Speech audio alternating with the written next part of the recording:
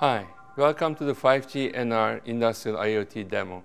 My name is Mehmet Yavuz and I'm a VP of Engineering at Qualcomm. In the industrial IoT space, a lot of big changes are happening recently, which are driven by big data, analytics, and robotics. Some people call these changes as the next industrial revolution or Industry 4.0. In this demo, I will show you how 5G NR can be used in industrial automation and we'll show high-speed rotating disks which are controlled through actual industrial equipment.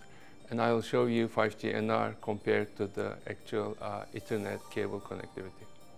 Here I will show you our prototype system with eight rotating disks on the front, as you can see, with flashing LED lights behind. On the bottom, you can see the 5G NR prototype system. When we go to the side view of the proto setup, you see the motor drives controlling the rotating disks on the front. And these are all connected and controlled to the industrial motor controllers.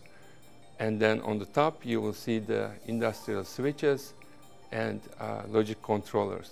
We're using Profinet switches, which is a leading industrial standard for automation. But on the left side, we replace the cable with wireless. In the demo, I will show you the performance of wireline connectivity with respect to the wireless connectivity.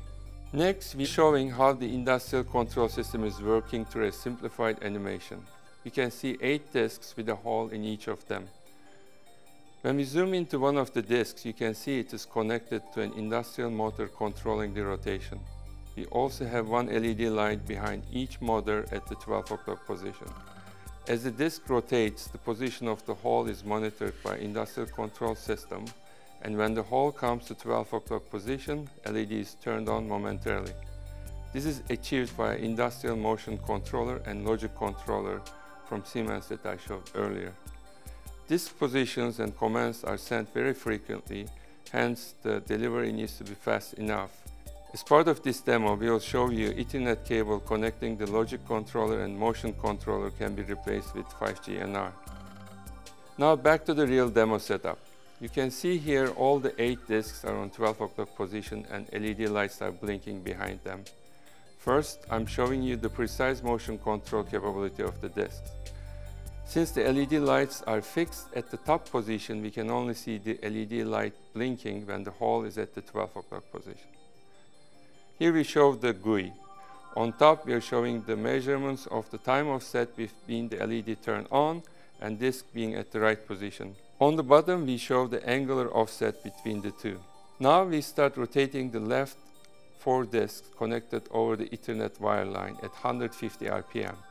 Now we go to 600 RPM rotation speed.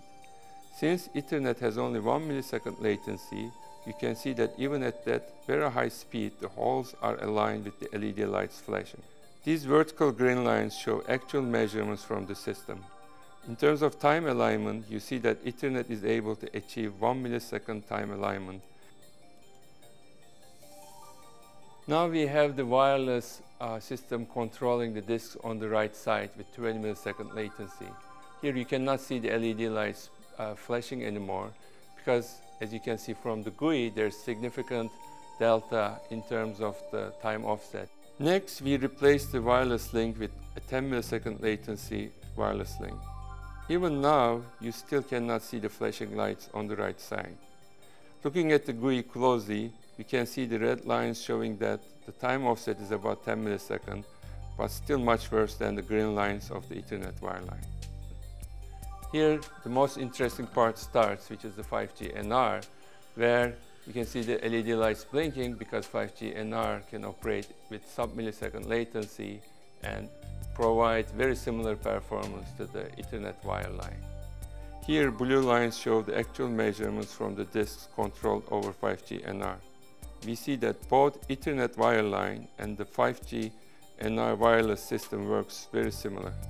So what does this all mean? If you look at the factories of today, there are a lot of equipment connected over wireline and the robots and the assembly lines are fixed. In the factories of future with wireless capability, the assembly lines can be reduced, there can be fewer robots doing more work, and they can coordinate with each other and work in collaboration, as you can see in this simple animation.